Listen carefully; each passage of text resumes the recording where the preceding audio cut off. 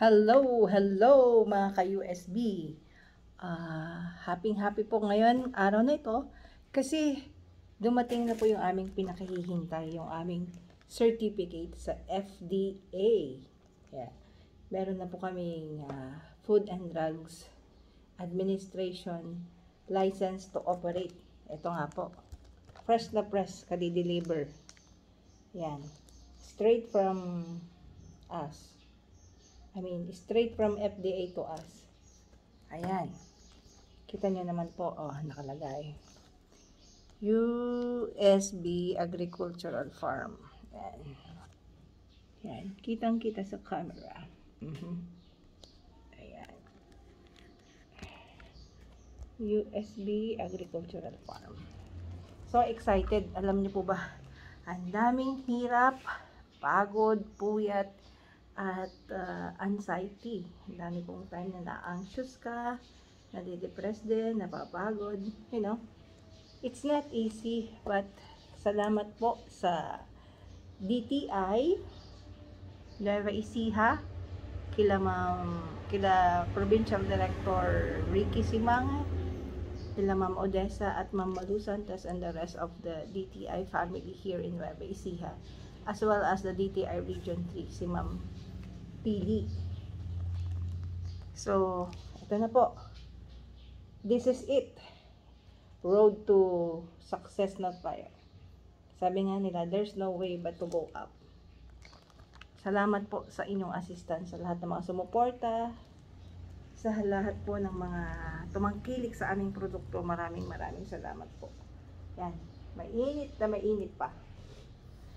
Although, alam na po namin na uh, we are LTO approved kasi through email, kino-confirm po nila or ini-email nila.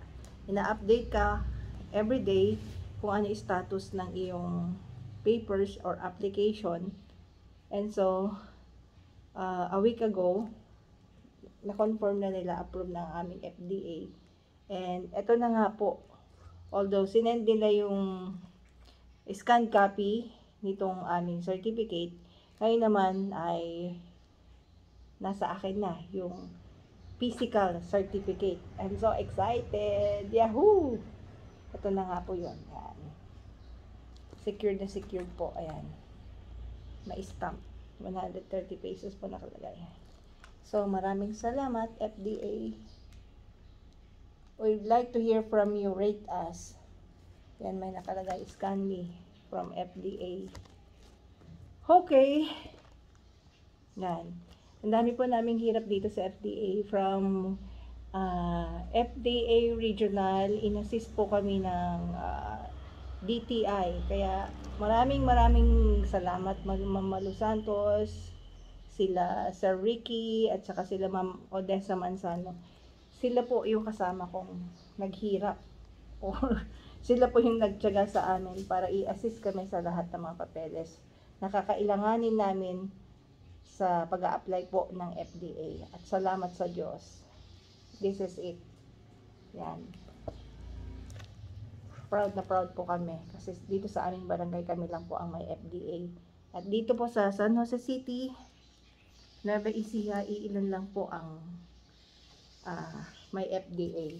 So, tara, buksan na po natin. Whew. Gas, ang init po. April 1 today. April Fool's Day daw. But, my body is pulling us around. Ayan. Ayan, no? Binubuksan ko na po. Ingat na ingat ako. This is very precious. Hmm. Wow. Oh. Ayan po. Talagang secured na secured po. No? Ayan, nakalagay. And, this is it. Oh, ayun. Medyo, siguro po, ayan, na yupi-yupi. Ayan. Na, na. Na yupi siya.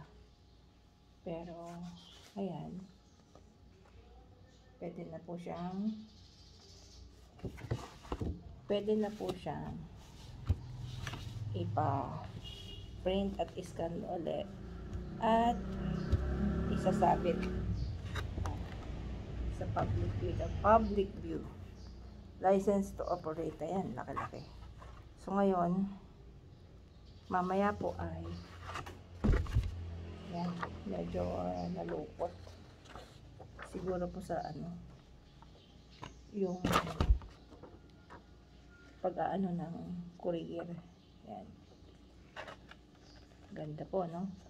Yan, license to operate. FDA. Talagang certified na certified na po kami. Salamat po sa lahat ng suporta. Ah, init. So, yan po. Road, isa po yan sa isang kailangan para tayo ay makapag uh, export. Kung nakikita niyo po sa likod, yan po yung aming mga produkto. We have mushroom chips. Ayun. Tapos, yung iba namin product development. Ayan, sa ibang lalagyan. Ito naman po yung mushroom bread in 200 grams. Yung green packs na yan, yan. At ayan naman po sa taas ay mushroom super bread 100 grams. At nakikita niyo po yung mga yan, kanton. Yan. Yung pong kanton na yun ay uh, pa-subcontract po sa amin. Ang kanton po namin ay yan lang. Yan. Yan pong black ay kontrata po. Yan. Yan. Tapos meron din po akong mga pag nag-trade fair, may mga binibili akong baskets. Yan. Pag may mga nagustuhan po, saka ko binibenta dito.